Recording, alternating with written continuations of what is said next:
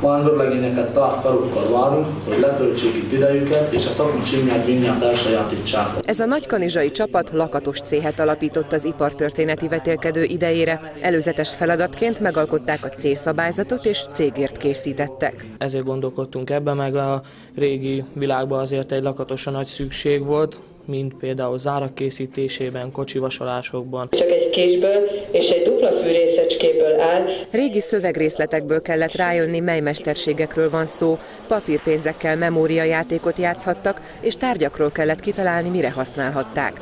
Hat állomáson négy csapat versengett egymással, mindannyian szakiskolákból érkeztek. Oldott légkörű uh, ismeret, bővítés, játék, az ipartörténet köréből. Hát egy olyan réteget, egy olyan célcsoportot szerettünk volna kicsit a múzeumhoz közelebb hozni, akiknek nem napi rutin a múzeumba járás.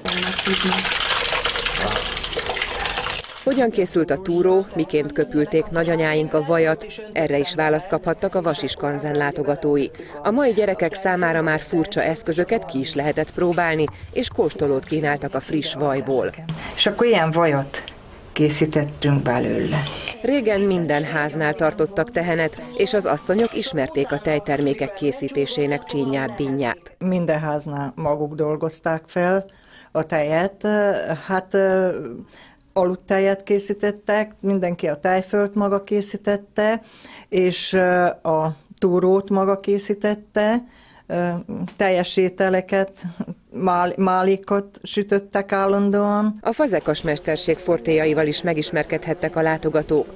A főként gyerekeknek szóló program célja az volt, hogy ráirányítsa a figyelmet az eltűnőben lévő mesterségekre és a régi paraszti világra.